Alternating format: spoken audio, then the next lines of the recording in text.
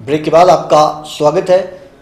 विश्वविख्यात श्री ज्वालामुखी मंदिर में गुप्त नवरात्रों के आठवें दिन महागौरी का ज्वाला माँ का पूजन किया गया। इस दिन हज़ारों श्रद्धालुओं ने लाइन में लगकर माँ के पवित्र ज्योतियों के दर्शन किए और माँ का शुभ आशीर्वाद भी प्राप्त किया। नवरात्रि में अष्टमी में ज्वाला माँ को हलवे और पूरी का भोग लगाया जाता है और बाद में कन्या पूजन भी की जाती है।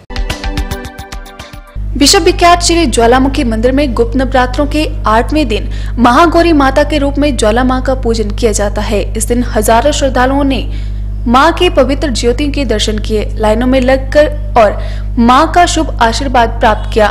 नवरात्रों में अष्टमी पूजन में ज्वाला माँ हलवे और पूरी का भोग लगाया जाता है और बाद में कन्या पूजन किया जाता है। पुजारी अभिनेन्द्र शर्मा ने कहा कि विश्व विख्यात शक्तिपीठ ज्वालामुखी मंदिर में अष्टमी नवरात्रि को माँ महागौरी के रूप में ज्वाला माँ का पूजन किया जाता है। इस दिन हज़ारों श्रद्धालु लाइनों में दर्शन किए और इस दिन ज्वाला माँ को हलवे पूरी का भोग भी लगाया गया और फिर कन्या पूजन भी किया गया।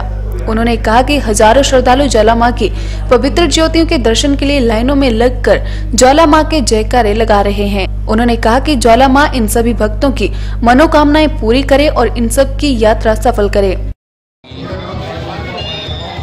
शैलवती द्वितीय ब्रह्मचारिणी तृतीय चंद घंटेति कुष्मांडेति चतुर्थ पंचम पंचम कहते हैं सप्तम कारती महागौरी चाची नवम सिद्धि जाती दुर्गा देवतो बिरमा अर्थात आठ गुप्त नवरात्रों का आठवां नवरात्रा बड़ा धूमधाम से महामाई के मंदिर में मनाया जा रहा है।